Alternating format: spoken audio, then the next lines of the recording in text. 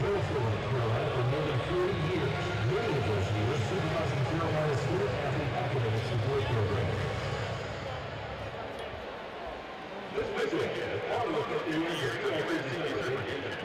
of the four pioneers, opening the doors for other minority student athletes within our great university and wear a scarlet and black. Ladies